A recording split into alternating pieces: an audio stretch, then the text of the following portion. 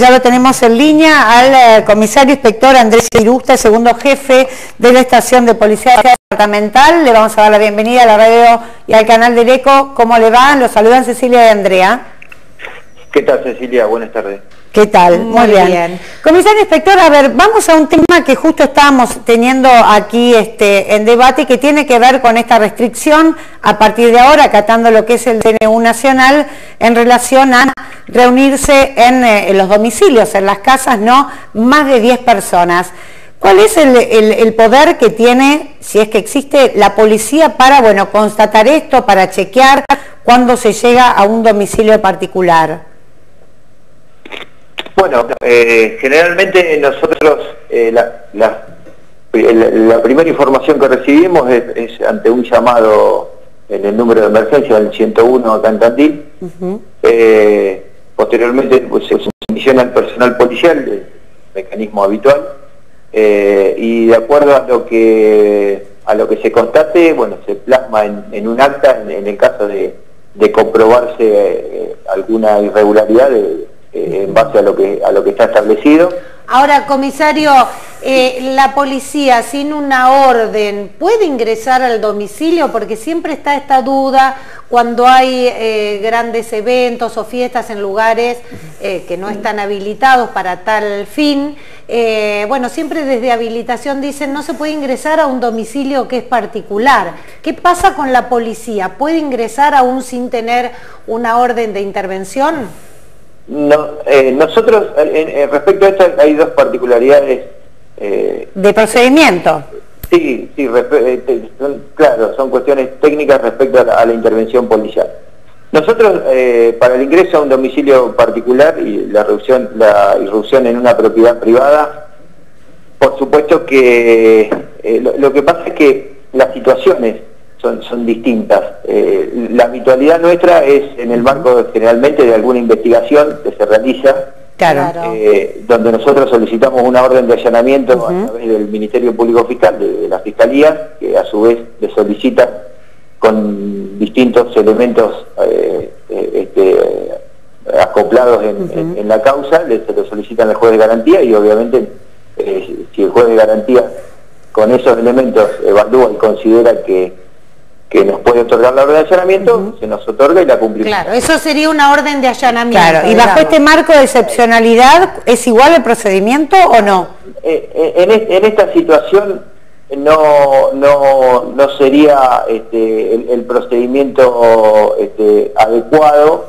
Eh, ¿Por qué? Porque nosotros sí podemos ingresar a un domicilio cuando hay una situación de emergencia sin la orden. Eh, hay un artículo del Código de Procedimiento Penal que nos habilita que ante un requerimiento de una situación de emergencia o un pedido de auxilio por parte de alguna persona del interior del domicilio, podemos ingresar.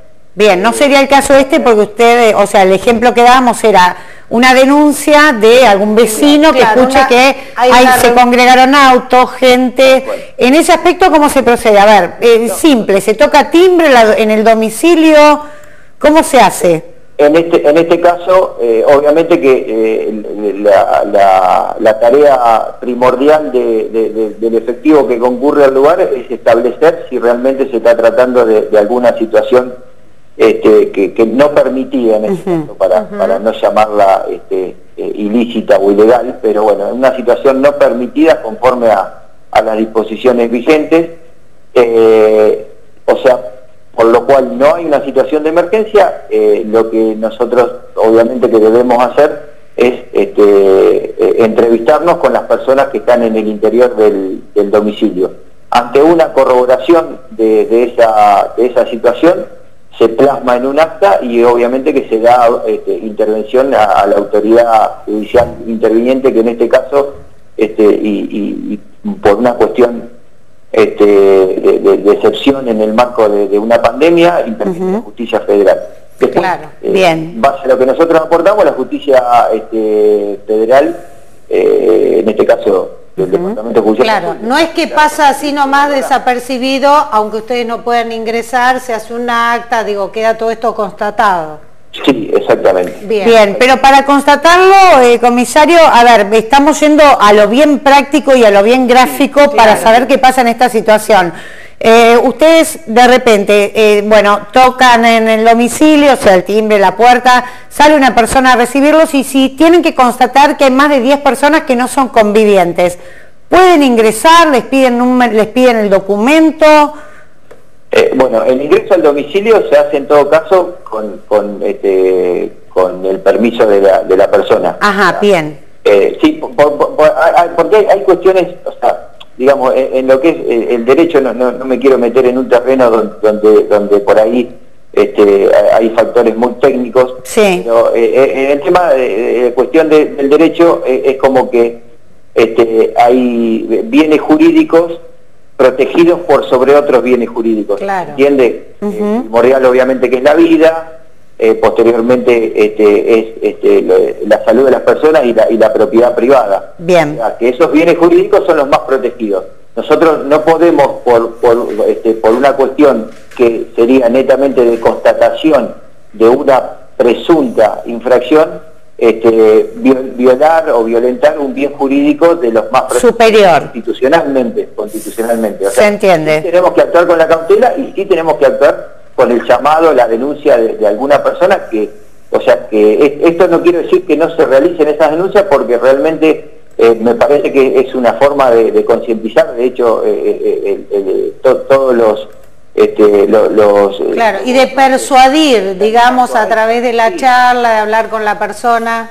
Sí, sí, obviamente. De cualquier forma, si se constata esta, esta situación, en algún momento eh, se tiene que resolver y en algún momento se, se, vuelca, se plasma en el acta lo que se corrobora. O sea, en algún momento las personas van a tener que salir del domicilio. Eh, a ver, tampoco eh, consideramos que, son este, más de 10 personas que, que, están, este, un, que, es una banda organizada para claro, sí, es una, digamos, una pequeña infracción que muchas veces con la buena voluntad de hablar y esto... Claro, no es la comisión de un delito, claro. exactamente. Eh, ya distinto cuando se hace una fiesta más grande, con, eh, bueno, en otras circunstancias. En La Plata el otro día tuvieron un problema que era, este, creo que era un local donde este, este, jóvenes se atrincheraron adentro del local y bueno... Claro, claro, ahí qué, qué difícil para ustedes, digo, en esto de, eh, bueno preservar, como decíamos, el tema de los derechos, pero también ver que había jóvenes alcoholizados, ¿no? Complicado. Hay, una responsabilidad, y esto, esto es, bueno que, la gente lo sepa, este, hay una responsabilidad, este, digamos, eh, un escaloncito más arriba por parte del propietario siempre, porque es quien posibilita este, eh, en este caso la, comisión de, una, de una cuestión que no está permitida. Es a quien le va a caber después esta investigación judicial. Exactamente, eso, eso lo evalúa por supuesto que, la justicia, nosotros somos eh, ni más ni menos que, el brazo auxiliar de la justicia y quienes trabajamos este, eh, digamos, eh, hacemos el trabajo de campo, como se, denomina habitualmente, y corroboramos y llevamos este, a la causa judicial los datos, con la, obviamente con la identificación de las personas y demás. Pero después quien evalúa finalmente y quien este, de, llegar al caso condena es, es este, claro. Sí, claro. Vamos a recordar que estamos dialogando con el comisario inspector Andrés Irusta. Comisario, bueno, son múltiples ¿no? las tareas que tienen las distintas dependencias en este marco donde el personal se ha distribuido en los puestos sanitarios, también bueno, atendiendo las cuestiones que tienen que ver con la inseguridad, ¿no? que bueno, son normales en cualquier distrito, pero también eh, buscando y cuidando y controlando a aquellos que están en aislamiento por venir de alguna zona de transmisión del virus. ¿Cómo se están complementando en todas estas tareas? Bueno, eh, en, ese, en ese caso eh, este, seguimos con la, con la misma política de, control. Eh, bueno, repito, la otra vez Ariel había, con Ariel había hecho una nota y, más o menos le, explicaba esta situación. A partir de que, de que hemos avanzado en Tandil con, con fases este, que, que, han este, liberado actividades, Eh, Ahora, comisario, ustedes acompañan desde el puesto sanitario, aquel que tiene que hacer la cuarentena, lo acompañan al domicilio. Y, son ustedes los que después tienen que controlar que se cumpla esto o quién es eh, el ente controlador de que se cumpla la cuarentena? Sí, se, hace un doble control. Por, por, eh, un lado, la, parte del control este, visual, digamos, que es la que realizamos nosotros en el domicilio. La gente, obviamente, eh, ya cuando, cuando se, la, se la acompaña al domicilio, ya se le informa que va a tener este, diversos tipos de controles en distintos días y horarios. Y este, lo que entiendo es que de la parte de salud se le realiza un un llamado telefónico, más que nada para, para corroborar que la persona este, esté bien. Y, y, se alcanza, digo, con la verdad que el personal no es justamente lo que sobra, este, alcanzan a, en el puesto sanitario a corroborar, a ir a Sí, aparte teníamos, perdón, más de 420 personas en aislamiento, ¿no? Son muchas. los, del, los delincuentes, eh, los que salieron con la prisión, este, bueno, por el tema del COVID, ¿cómo hacen para poder, llegan a controlar Tienen una frazada muy grande, tal vez. Sí, eh, sí, y el número no, no modifica, siempre más o menos hay un promedio de, entre 400 y 450 personas eh, mm. que, manejamos. Bueno, con respecto a los puestos, de, estos son distintas, cosas, con respecto a los, a los, puestos sanitarios, inicialmente a partir de la del inicio de, la cuarentena, se generó desde, la jefatura una orden de servicio donde se involucra este, a, los, a, la distintas policías descentralizadas de, Tandil, eh, quienes nos han prestado una colaboración este, inmejorable que, en la que participa eh, tanto eh, la policía vial, infantería, caballería, la, la, dirección de narcotráfico, la dirección de investigaciones, Sí, eh, básicamente son ellos. Alguna ayuda hemos tenido también de, patrulla rural. Y bueno, y después eh, eh, la policía local, por supuesto, y el personal de las distintas comisarías. Nos hemos organizado de esa manera. es, claramente se redoblaron esfuerzos porque esto no era el trabajo este, habitual que, que cada... Claro, ¿están sumando horas a las que ya tenían? Sí, sí, sí, sí, sí tal cual, pero nosotros ya sabíamos que esta situación este, era excepcional, claro. Estamos cortos con el tiempo, comisario, pero eh, a ver brevemente, ¿están de acuerdo ustedes con que eh, se trasladen los policías a otras ciudades, sobre todo este, donde hay circulación viral, que vienen y bueno, eh, la verdad algunos han sido, lamentablemente, han venido con el contagio. ¿Están de acuerdo ustedes con esta este, este mandar de policías o es una orden que no queda otra más que acatarla? Sí, eh, sí entiendo la, pregunta. Eh, desde, desde lo institucional la, respuesta es que nosotros en primer término desde, el principio de todo esto somos este, personal que, se, nos, se nos ha denominado este, esencial, que, indispensable, que debemos seguir realizando las tareas. en, el marco de todo eso, eh, las órdenes este, eh, emanadas por el Ministerio de Seguridad y, desde la jefatura eh, son esas y nosotros obviamente que las tenemos que, cumplimentar. no es el caso de la policía de, Tandil, pero sí distintas este, policías que pertenecen a, lo que denominamos descentralizadas tienen que seguir cumplimentándose ese tipo de, de directivas y hay una planificación previa donde, donde se cuenta con con determinadas este, policías de, Tandil, la cual este, deben, deben concurrir a los, a los lugares. Y bueno, sí, es, es, un riesgo, pero